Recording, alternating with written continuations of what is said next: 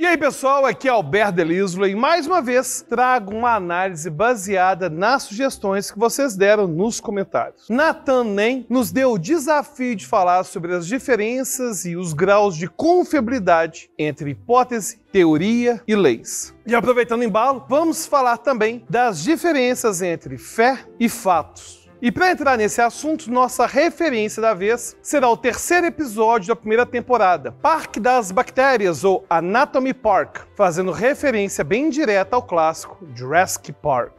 O episódio tem uma dinâmica muito peculiar, com Mori entrando no corpo de um homem moribundo, enquanto a família Smith tem o Natal em busca de maior conexão pessoal. E antes de aprofundarmos nossa análise, queria agradecer você que deu agora o gostei e você também que deixa comentário com sugestões, porque acabam enriquecendo o conteúdo aqui do canal. Valeu demais! E lembrando que aqui no canal a gente fala de filosofia, ciência, psicologia e, é claro, de Rick and Morty. E a gente já fez um monte de análise de Rick and Morty. Se quiser ver as outras, é só buscar lá nas playlists do canal. E no episódio em questão, uma celebração religiosa contrasta com o um mundo microscópico dentro do corpo de Ruben, o homem sem teto, vestido de Papai Noel, que é ajudado por Rick. Na verdade, Ruben tem dentro de si um parque com bactérias e vírus que acabam se libertando de suas jaulas. Enquanto a família se reúne e espera pela chegada dos pais de Jerry, Rick leva Ruben à garagem, encolhe Mori e o joga dentro do corpo de Ruben, com a missão de entender o que está acontecendo lá dentro. Na sala, Jerry insiste para que todos deixem os seus dispositivos de lado para que possam celebrar o Natal.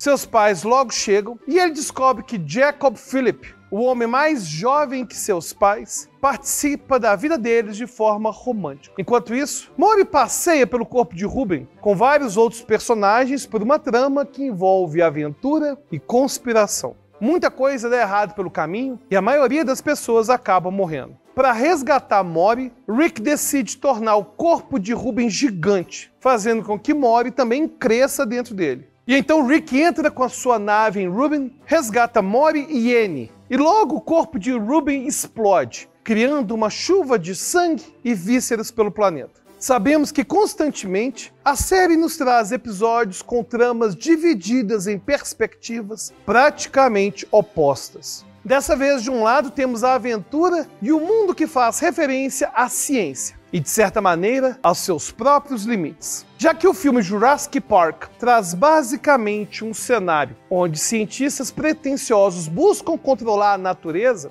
mas acabam trazendo desastre e morte.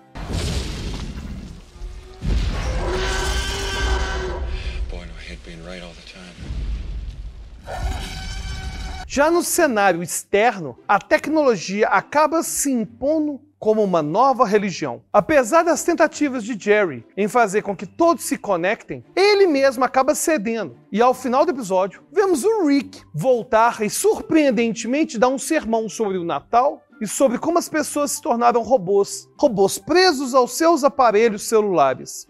Inacreditável! Temos um monte de robôs sentados aí com a fuça enfiada nessas, nessas telas de computador. Vocês percebem que Cristo nasceu hoje?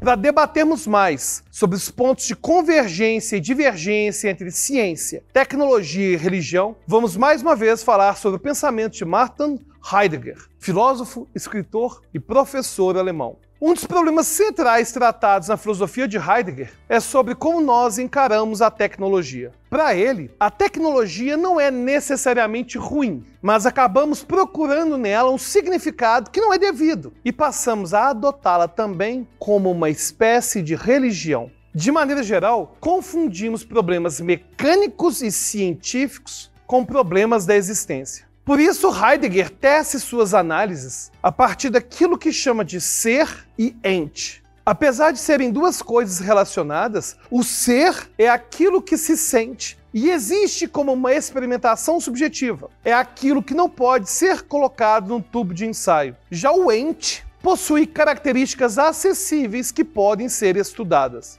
Para Heidegger, a humanidade muitas vezes confunde a busca do ser e a busca do ente. A ciência, por exemplo, pode dar respostas sobre como a vida se desenvolve, mas não é capaz de nos dizer o significado dela. Aliás, eu já até citei no vídeo sobre clonagem que a ciência é capaz de falar se é possível fazermos um clone humano, mas a ciência não é capaz de nos dar a resposta se a gente deve fazer isso. Heidegger afirmaria: Eu diria que os homens têm uma religião da maneira que eles acreditam na ciência. Eles acreditam na ciência de maneira absoluta.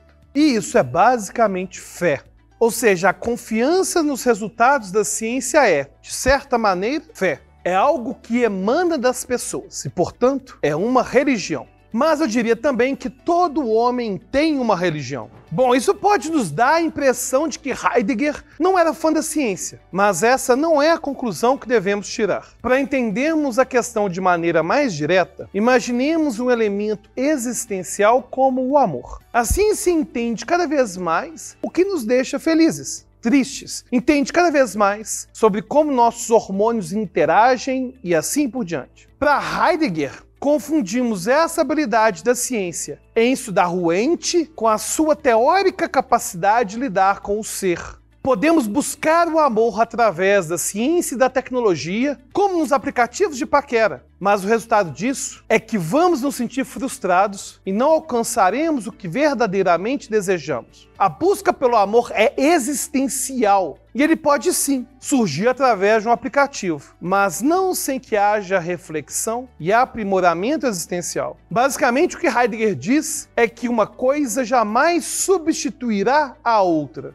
No fim do episódio, os celulares triunfam. Vejam a mensagem exatamente a mesma que Heidegger traria. A união que Jerry busca é, sem dúvidas, existencial. E Heidegger nos aponta justamente que esse tipo de atributo costumava ser das religiões tradicionais. E por isso temos celebrações como o Natal. Mas assim como a tecnologia e a ciência podem invadir campos espirituais que eram costumeiramente atrelados a religiões, o oposto também é verdadeiro. Quando falamos de coisas como doenças, bactérias, vírus, etc., às vezes algumas pessoas podem usar da religião para tomar uma posição que vai contra a ciência. Lembrando que aqui no canal não queremos impor nenhuma ideia sobre religião e entendemos que cada um pode e deve ter as suas próprias ideias sobre esse assunto. Por isso, entenda o nosso vídeo como um tipo de exercício epistemológico. Um clássico exemplo de um argumento religioso invadindo o campo da ciência é o da teoria da evolução. Muitas pessoas atacam teorias científicas dizendo: ah, mas isso é apenas uma teoria. E aqui vale a explicação que foi pedida pelo Nathan Nem. Teoria científica não é a mesma coisa que hipótese. Hipótese significa algo como posição fraca ou pré-posição a hipótese é simplesmente uma ideia que pode ser validada ou não através de mecanismos e estudos. Eu posso observar um fenômeno e imaginar que exista um efeito de causa e consequência, por exemplo. Nesse caso, a hipótese realmente não deve ser mesmo levada como uma resposta necessariamente válida. Já quando falamos de teoria, falamos de uma explicação. Uma teoria científica não é a mesma coisa que uma teoria no sentido cotidiano, de algo incerto. Obviamente que é importante notarmos que existe grande diferença entre teorias e pseudo-teorias. As teorias são sempre alinhadas a processos de observação e testagem. Assim, uma teoria pode ser confirmada infinitas vezes, mas continuará sendo uma teoria. Ou seja, ela não é nenhum tipo de classe inferior. Mas é lógico que ela ainda pode ser melhorada. Isso porque, mais uma vez, ela é uma explicação. É comum, portanto, que eu desenvolva uma explicação com total respaldo em observações científicas e eu vá adicionando cada vez mais elementos a essa explicação. A teoria tem, portanto, um caráter expansivo, a exemplo da teoria atômica. Já na Grécia Antiga, filósofos teorizaram que tudo é feito de pequenas partes que se combinam para formar coisas diferentes. Isso foi confirmado, mas os modelos se tornaram cada vez mais específicos. E hoje entendemos que, mesmo dentro de átomos, ainda temos outras combinações. Já uma lei exprime uma regra com base em determinado fenômeno de maneira regular. Tanto que, em alguns casos, um objeto pode ser tanto uma lei quanto uma teoria. Talvez o caso mais clássico seja o da gravitação. A lei da gravitação universal afirma que se dois corpos possuem massa, eles possuem uma força de atração mútua e proporcional às suas massas. Já a teoria da gravidade explica como que o fenômeno acontece. Um, And so you put matter and it warps space-time. And so if I have another object, it also warps space-time. They feel that and they're attracted to each other. Dan Harmon, co-criador da série, já se expressou diversas vezes sobre como Rick and Morty faz críticas sobre algumas crenças anticientíficas de pessoas. O episódio Parque das Bactérias nos leva ao mundo que, embora distorcido pela comicidade da trama, não deveria ser questionado. E aí falamos de mais um elemento na ciência que é o fato, que é tido como algo observado e verificado de maneira empírica. Bactérias existem, vírus existem e vacinas funcionam. Tudo isso é fato. Depois que Mori vê as doenças com seus próprios olhos e é atacado por elas, é depois resgatado por Rick, seu breve interesse amoroso. N diz que vinha estudando o trabalho do Dr. Bloom com Park. Ela é então mais uma vez encolhida para criar um novo parque. Na cena pós-créditos, uma ligação entre Rick e a nova equipe do Parque das Bactérias deixa clara a intenção de eles acabarem com uma atração chamada Piratas do Pâncreas, que Rick vinha defendendo desde o começo do episódio. Só a título de curiosidade, essa referência feita diversas vezes no episódio é inspirada, claro, no Piratas do Caribe. O trocadilho nasce do fato de que o nosso pâncreas é uma glândula com diversas ilhotas, como é o Caribe. E para concluir, podemos dizer que o episódio nos leva a uma viagem ao ente de Heidegger, onde podemos observar os fatos, as teorias e as leis científicas. Mas ele também nos leva a uma reunião que trata do ser e que tem por essência uma característica existencial que deve ser acessada, talvez não necessariamente através de uma religião específica, mas de uma visão da própria vida. O próprio Heidegger se afastou de suas convicções católicas de quando era jovem, mas permaneceu com a visão de que estamos todos conectados e que isso deve ser alimentado através da filosofia e da arte. Ele diria: todos nós estamos conectados a todos e a tudo no universo. Portanto, tudo o que um indivíduo faz afeta o todo. Todos os pensamentos, palavras, imagens, preces, bênçãos e atos são sentidos por tudo que existe. E falando em conexão, conecte-se com a gente. Dá um like agora no vídeo e se você quiser debater diretamente comigo lá no grupo do Telegram, é só se tornar um apoiador. O link está na descrição do vídeo e até a próxima.